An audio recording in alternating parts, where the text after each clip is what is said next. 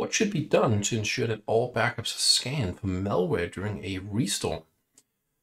Let's see here. Option one, configure all backup jobs to enforce malware scanning during all restore activities. I don't think there is a option for that, uh, as nice as it would be. Uh, configure an application group containing all virtual machines and configure SureBackup job for malware scanning enabled.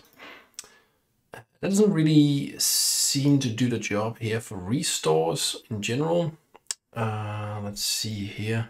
Write a manual uh, process to be followed by the backup operators to enable malware scanning during all restore activities. Hmm. Yeah, I think that might be it.